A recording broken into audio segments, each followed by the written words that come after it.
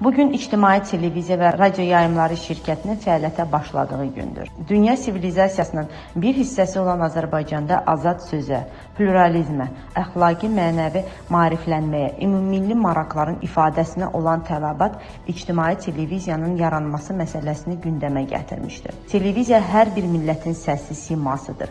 Televiziya milləti, dövləti dünyada təmsil və təqdim edir. İctimai Televiziya sözün həqiqi mənasında Azərbaycanın dilini, dinini, mədəniyyətini, incəsənətini, ədəbiyyatını dünyada layiqincə təmsil edir. Həmin təqdimatda təkcə millətin dəyərləri, varlığı deyil, həm də bu televiziyanı yaradan, onu inkişaf etdirən insanların təxəyyülü də öz əksini tapır.